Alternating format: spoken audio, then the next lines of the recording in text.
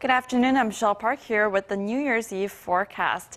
We had snow earlier than expected in Seoul this morning, but nothing compared to what other regions are looking at over the coming hours.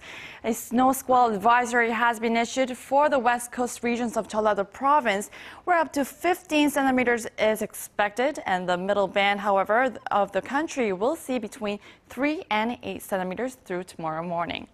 On top of the snow, it's also gotten colder. Daytime highs will range anywhere between 2 to 12 degrees Celsius throughout the uh, country, but it'll, it'll feel much colder due to the strong winds.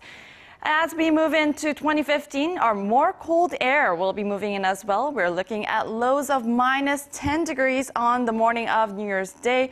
Those temperatures will slowly back up um, as we head into our weekend, but make sure to layer up if you're going outside for the countdown. And now to our readings for today. So it'll be at 2 this afternoon, while Gwangju and Busan will peak up to 5 and 9 degrees. And to other regions such as Jeju Island will get up to 12, Dokdo hits down to 4, while Mount Kumgang is much colder at minus 5 degrees.